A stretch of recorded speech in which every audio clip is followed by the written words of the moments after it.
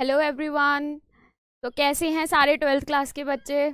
I hope आप लोग अच्छे होंगे, है ना? मैं भी बहुत अच्छी हूँ। अब मुझसे बहुत सारे बच्चों ने ये बातें कही कि मैम बायोलॉजी के लिए और और सारे सब्जेक्ट्स के लिए एसएसटी के लिए टेंथ के भी, ट्वेल्थ के भी, दोनों क्लासेस के बच्चे जो हैं, वो ये कमेंट कर रहे हैं कि आप इंपॉर्टेंट टॉपिक्स बता दो जो एग्ज़ाम ऑफ़ पॉइंट के एग्ज़ाम पॉइंट ऑफ़ व्यू के हिसाब से अच्छे हैं, है ना?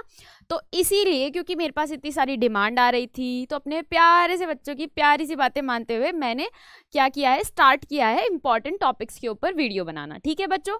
तो अभी मैं आज आपके लिए जो है बायोलॉजी कवर करने वाली हूँ, उसके बाद धीरे धीरे मैं मैथ्स और सारे केमिस्ट्री फिजिक्स सारे ही सब्जेक्ट्स को आपकी कवर करूँगी। सारे ही सब्जेक्ट्स की ट्वेल्थ की भी और टेंथ की भी वीडियोस में आपके इंपॉर्टेंट टॉपिक्स के ऊपर बनाऊँगी, वो भी मार्क्स वाइज जिसमें मैं आपको बताऊँगी कि आपको इस सब इस टॉपिक से हो सकता है इतने मार्क्स का एग्ज़ाम पेपर में देखने के लिए मिले।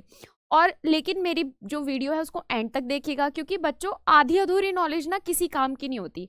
अगर आप कोई चीज़ तैयार कर रहे हो, अगर आप वीडियो को देख रहे हो तो उसे एंड तक देखो, ताकि आप लोग जो है वो इंपॉर्टेंट पॉइंट्स को, चीज़ों को समझ सको। क्योंकि स्टार्टिंग के वीडियो में एकदम स्टार्ट होते आपको नहीं समझ में आएगा कि मैं क्या चीज़ें एक्सप्लेन करना चाहती हूँ, क्या आपको बताना चाहती हूँ, ठीक है? तो प्लीज़ वीडियो को एंड तक देखिएगा और कमेंट करके ज़रूर बता देना आपको वीडियो कैसी लगी। चैनल को सब्सक्राइब कर लेना, लाइक कर लेना। चलो, हम ज़्यादा टाइम नहीं वेस्ट करते हैं आगे अपनी पढ़ाई जो है स्टार्ट करते हैं। अब हम बात कर लेते हैं प्रिंसिपल्स ऑफ़ इनहेरिटेंस ये बहुत बड़ा चैप्टर है, बहुत ज़्यादा इश्यूज़ माइंड में क्रिएट करता है ना, बहुत सारे बच्चों को दिक्कत होगी इससे भाई, बहुत सारे लोगों को होती है।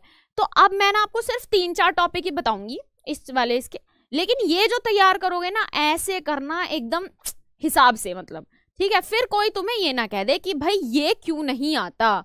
अगर ये तैयार कर रहे हो तो पूरा आना चाहिए। ठीक है एक एक चीज़ आनी चाहिए। अब हम बात कर लेते हैं, जैसे कि पता ही है कि तीन लॉज हैं लॉ ऑफ़ डोमिनेंस है लॉ ऑफ़ सेग्रीगेशन है लॉ ऑफ़ इंडिपेंडेंट असॉटमेंट है। इन्हीं तीनों चीज़ों के ऊपर पूरा चैप्टर बेस्ड है। तो देखो law of dominance law of segregation हर साल पेपर में आ जाता है मुँह उठा के। तो और आता तो इंडिपेंडेंट असॉटमेंट भी है, लेकिन इंपॉर्टेंस उसकी ज़्यादा है। तो इस बार ही ना तुम डाई हाइब्रिड क्रॉस ज़रूर करके जाना, क्योंकि वो तो कंटिन्यूसली हर साल ही पेपर में देखने के लिए मिलता है। तो लॉ ऑफ़ इंडिपेंडेंट असॉटमेंट कर लेना।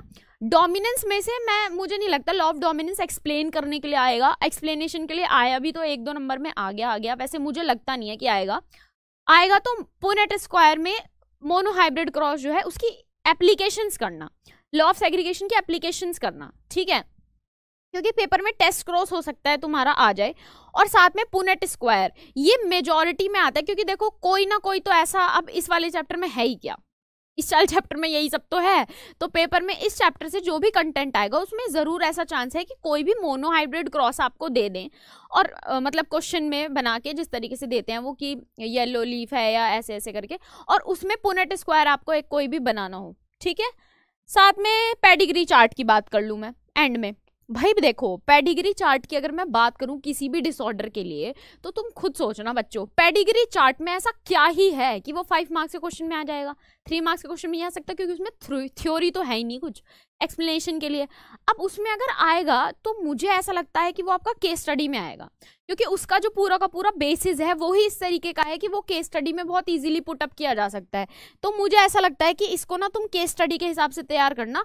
पेडिग्री चार्ट बहुत सारे बच्चे छोड़ करके चले जाते हैं। समझ में नहीं आता कि क्यों छोड़ते हैं, लेकिन हर साल बेशक छोड़ दो। इस बार अगर आपको अच्छे मार्क्स लाने हैं, मैं सच बता रही हूँ जो जो टॉपिक मैं बता रही हूँ ना, उनको आँख बंद करके अच्छे से कर लो।